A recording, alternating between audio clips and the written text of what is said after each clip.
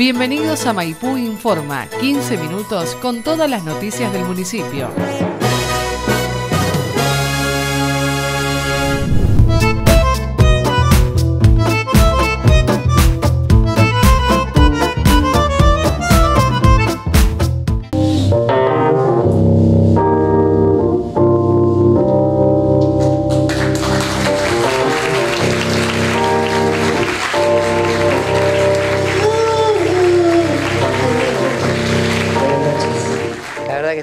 Estaba lleno.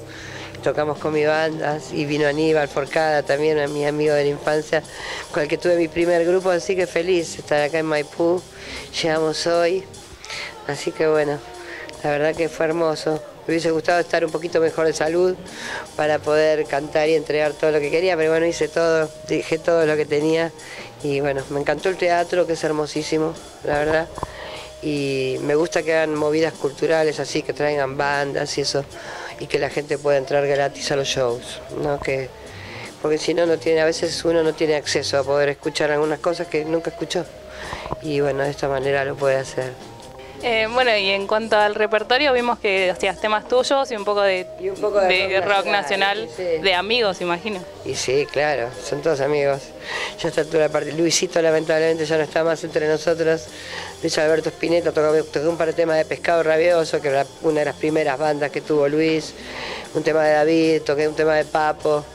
Sí, una mezcla de canciones, sí. Un par de versiones me gusta hacer un poco cambiadas ¿no? a mi manera de hacerlas, pero me gusta. También hicimos un tema de Charlie, Ojos de Videotape. Grabamos para el disco anterior, Primavera por un día, que está acá, eh, Adela del Carrusel, que la estuvieron pasando un montón, que hoy no la tocamos porque por mi resfrío, pero eh, tocamos otro tema más de Charlie que lo voy a grabar, para, lo grabé ya para el próximo disco. ¿Y con esta banda que viniste hace mucho que están tocando? Bastantes años hace que están los anestesistas. Van cambiando, fueron, fueron mutando algunos músicos. Hoy faltó uno de los guitarristas que no pudo venir. La banda tiene otro violero más, es más grande todavía. Y uno de mis guitarristas, Oscar, no pudo venir, pero sí, hace un montón de tiempo que toco con ellos. Eh, ya más de 10 años. ¿Y tienen temas propios o son temas tuyos? No, generalmente son temas míos o temas míos y de gafas, que es el pianista. Eh, pero también hacemos temas entre todos. Eh, alguna vez sale una cosa, alguna cosa y hacemos. No, no es una cosa que me moleste tocar temas de otra gente a mí, no, no quiero solamente tocar mi música. A veces se da que estoy, hago una lista de canciones y termino cambiando la lista en el momento, ¿no? Por una cuestión de, clima o de lo que sea. Eh, hoy, bueno, lamentablemente estaba, estoy muy, muy engripada y eso es un problema, ¿no? Un enemigo para el cantor. Pero bueno, hice las canciones que llegaban más o menos a las notas, no tal vez un montón de otras que hubiese gustado hacer. Generalmente yo toco mucho más tiempo, ¿no? Toqué en menos tiempo. ¿Y en cuanto al repertorio, elegís los temas que tenés ganas de tocar o ya tienen un repertorio armado? No, no, no, yo tengo, mm, yo, 80 canciones, no sé cuántas canciones y sabemos tocar con mi banda, que yo no sé, muchas. A ver, no, se da, depende del lugar donde vamos, qué, queremos hacer, la formación, por ejemplo. Esta vez, como había un guitarrista menos, hacíamos algunas cosas donde el otro violero no toca, o qué sé yo. También un poco eso, adaptamos la situación a, la banda en el momento, o a las canciones, o a mi propia garganta, que si, si puede o no cantar, ¿viste? En este momento más o menos. Así que lo hice lo mejor que pude, pero se adapta. Pero no, tenemos muchísimas canciones y nunca tocamos. Tocamos, repetimos canciones que, que la gente nos pide también. Pero tenemos un repertorio amplio.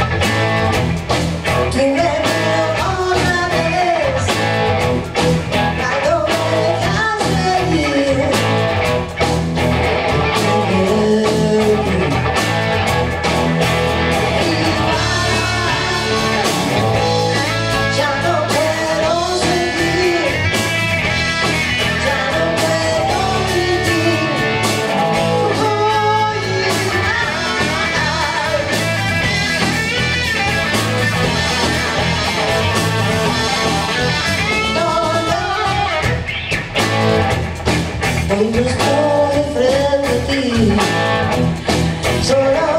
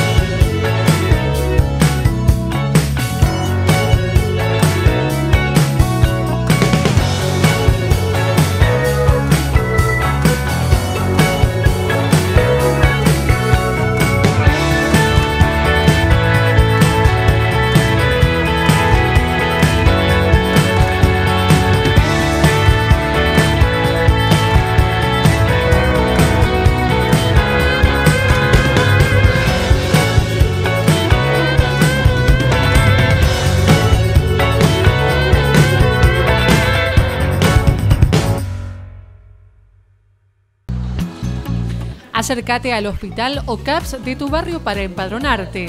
El empadronamiento es un moderno sistema de identificación de los pacientes que permite ordenar y agilizar el funcionamiento del hospital, haciéndolo mucho más eficiente.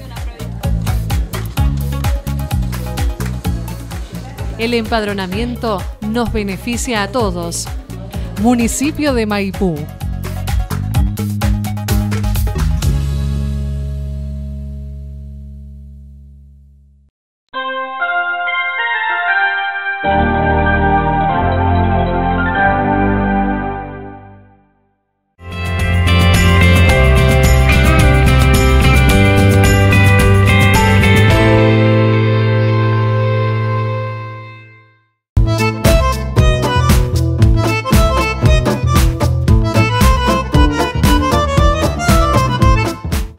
Con Cristina, la coordinadora de, eh, adultos mayores del área de deportes y de deporte y recreación, que se está desarrollando en la etapa municipal de los Juegos Bonaerenses. Contanos un poquito el cronograma de actividades.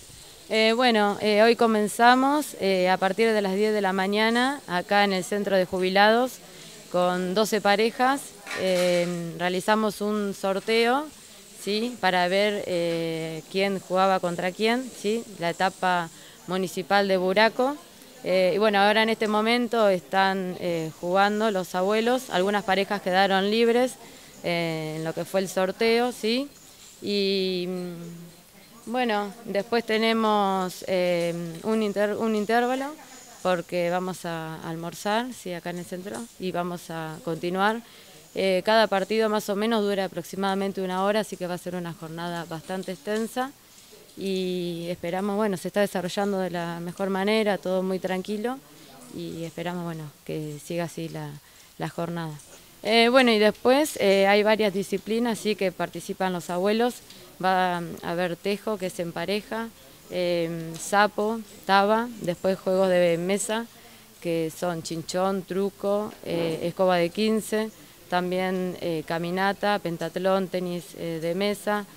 Son un montón de disciplinas que los abuelos se han anotado y la mayoría se anotaron en todas. Así que hasta el 24 de junio vamos a tener actividades prácticamente día por medio eh, para poder eh, finalizar con la etapa municipal, porque ya después eh, pasa a la etapa regional, ¿sí? los ganadores de cada uno de los juegos, y esta se va a disputar en Pila el 11 de agosto.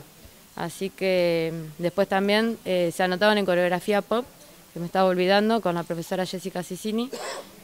también hay dos grupos eh, de seis personas y se van también a eliminar entre ellos dos a ver cuál va a ser el grupo que, va a ganar para pasar a la etapa regional. Eh, ¿Y más o menos qué cantidad de abuelos eh, participan? Porque sabemos que son súper participativos todos, así que... Y aproximadamente tenemos nosotros anotados en total 80 abuelos seguro. Lo que sí, hay tres categorías distintas, porque los abuelos eh, la edad es a partir de los 60 años en adelante, entonces tenemos la categoría única, que acá Buraco es categoría única, que participan, bueno, desde 60 eh, en adelante, como dije, y después tenemos categoría A y B. La categoría A es de 1959 en adelante y después tenemos la categoría B, sí, que es desde 1949 a 1959. Más que nada se hace esto porque no va a jugar, por ejemplo, en, eh, caminata, ¿no? no va a participar un abuelo de 90 años contra uno de 60, como que hay mucha diferencia. Entonces ya acá en los Juegos Bonaerenses, eh, ya la provincia nos mandaron todos estos datos para que nosotros los podamos dividir en, estas categorías, para que ellos se anoten así. Y la, eh, después en los Juegos Bonaerenses, ¿cuándo se, serían? ¿Más o menos tienen fecha ya? Sí, es en septiembre, no me acuerdo ahora bien bien la fecha, pero sí, una vez que vayamos a Pila a disputar la etapa regional, eh, ahí sí pasamos, eh, los ganadores van a, pasar a la etapa eh, provincial que se va a realizar en Mar del Plata. Pero bueno, eso todavía tenemos que esperar, así que esperamos que, nos vaya bien con, con los abuelos. El año pasado eh, pasaron varios en Buraco, en Tejo y bueno, esperamos tener muchos abuelos participando este año en la etapa final en los Juegos Bonaerenses. Eh, son cuatro o cinco días en, Mar del Plata y aparte de participar de, esto también bueno, salen a pasear, es algo diferente digamos. Municipio de Maipú. Maipú, sos vos.